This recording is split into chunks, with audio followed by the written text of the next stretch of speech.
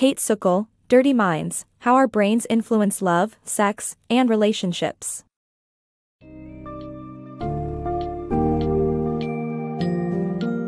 Embark on a fascinating journey into the depths of our brain with the book Summary of a Dirty Minds How Our Brains Influence Love, Sex, and Relationships by Kayt Sukel. Throughout this summary, you will discover the pivotal role of hormones like dopamine and oxytocin in the multifaceted world of love, sex, and attraction. Explore the areas in our brain responsible for developing and sustaining strong connections and dive into the mysteries behind the love-hate relationship. The summary delves deep into the intriguing world of neurobiology, examining how various primal instincts, genetic variations, and neural pathways shape our relationships and behavior.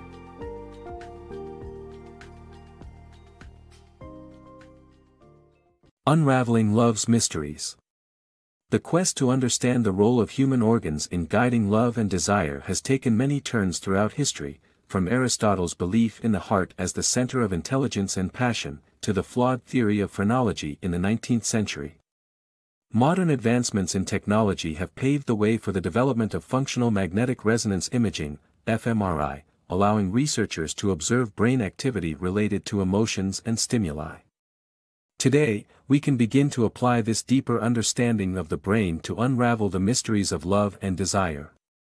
Centuries ago, people were mystified by the inner workings of the human body and its connection to love and desire. In ancient Greece, Aristotle believed the heart was responsible for both intelligence and passion, with the brain simply serving to cool overheated emotions. However, as time went by, scientists began to explore the brain's role in these experiences.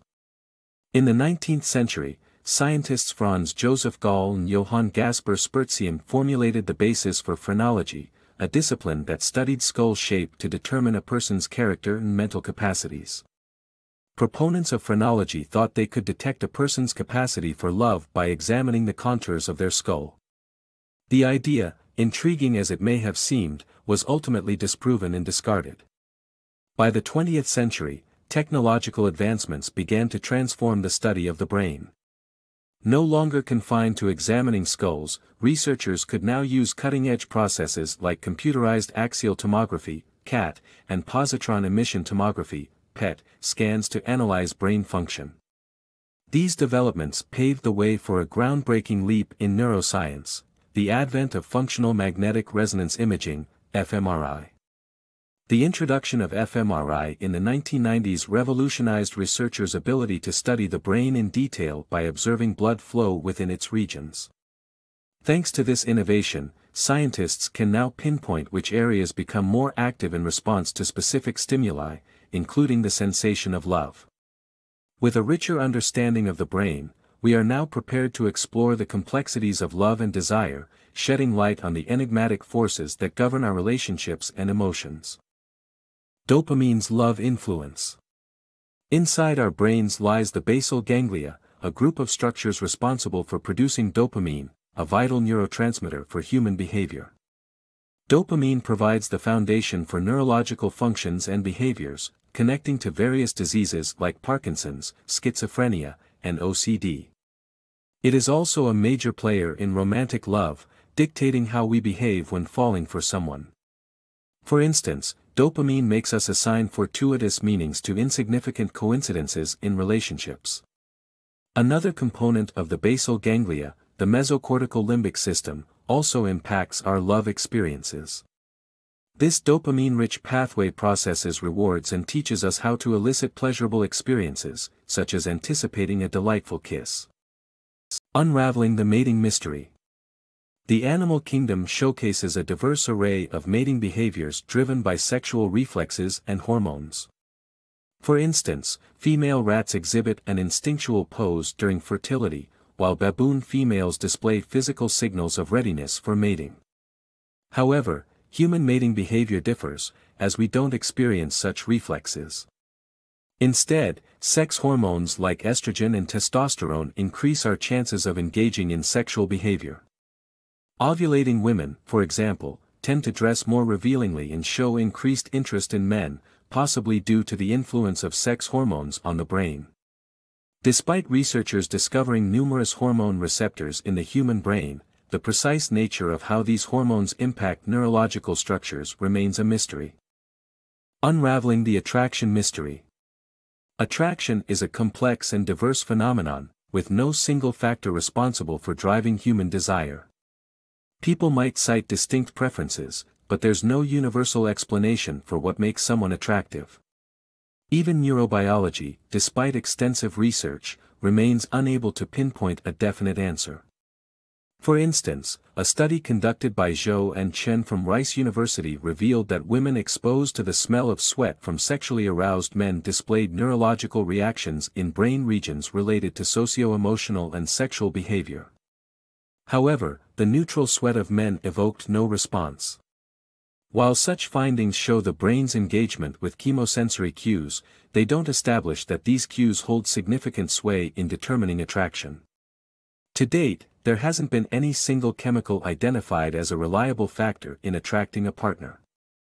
Hormones and lifelong love. Prairie voles, small rodents, exhibit a fascinating behavior, they form lifelong monogamous bonds with their mates, attributed to their brain's oxytocin and vasopressin receptors. Following their first sexual encounter, these voles create a bond with their partner and solely mate with them. The high concentration of oxytocin receptors in their brains plays a key role in this bonding process, as oxytocin results in a dopamine rush, causing the prairie voles to associate the pleasures of mating with their first mate. Like humans, their brains have a built-in reward processing system that reinforces this bonding through chemical reactions. Human love, while not fully understood, is also believed to involve oxytocin. Research by Yale's Ilanit Gordon found that couples with close connections have oxytocin present, but it remains uncertain whether their behavior causes increased oxytocin levels or if oxytocin itself influences their behavior. Fidelity, more than genetics. When it comes to enduring love and monogamy, prairie voles are famously committed. Research from the Yerkes National Primate Research Center found that manipulating the vasopressin receptors in male voles led to promiscuity, indicating that these receptors play a vital role in their monogamous behavior. For humans, however, genetic factors are more complex. A 2008 study from the Karolinska Institute in Sweden found that individuals with a variation of the AVPR1A gene, which controls vasopressin, were more likely to be unhappy in relationships, but not necessarily unfaithful. Another study in 2010 by evolutionary biologist Justin Garcia found a variation in the dopamine receptor gene that correlates with riskier behaviors and a higher number of romantic partners. Although these genetic variations influence our tendencies, they do not dictate our actions or guarantee infidelity. It is essential to remember that numerous other factors, including undiscovered chemicals and pathways, may play a significant role in determining our fidelity in relationships. With this knowledge, we can better appreciate the intricacies of human bonding and behavior within romantic partnerships. Love, hate, and oxytocin.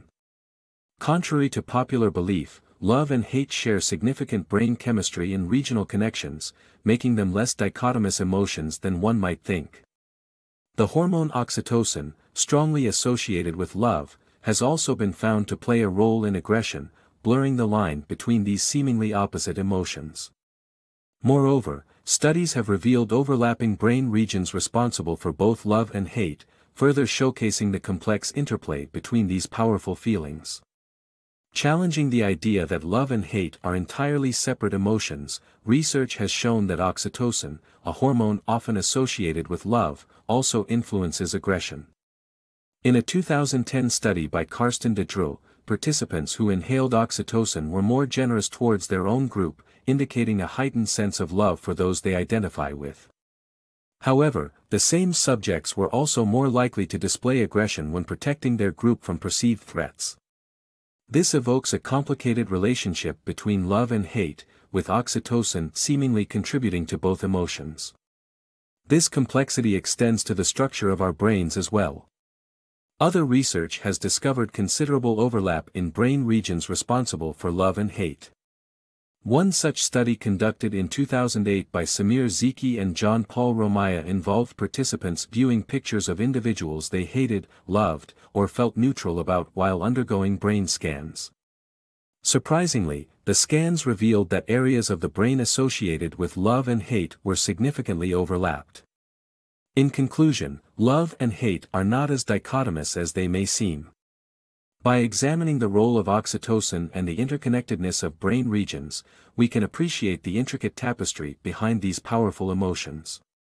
This deeper understanding provides a fresh perspective on the complexity of our emotional lives and the biological underpinnings of our most intense feelings.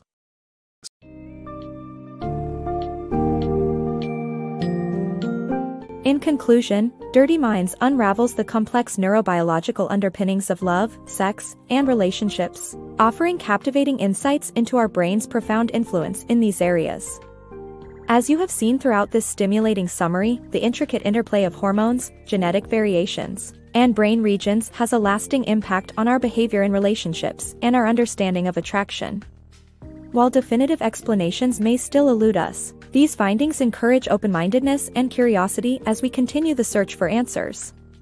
As we unravel the tapestry of these complex and essential human experiences, a deeper understanding of ourselves and our relationships emerges, enriching our lives and strengthening our connections.